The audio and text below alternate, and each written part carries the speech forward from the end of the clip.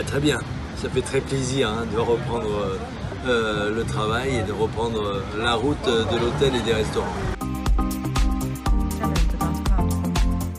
On a changé les cartes, elles sont plastifiées. On a mis des QR codes sur les tables. On a espacé un peu les tables, maintenant 1m50, donc c'est pas mal. Bien sûr aussi des marquages au, au sol. À l'extérieur, accueillir à peu près entre 35 et 40 personnes.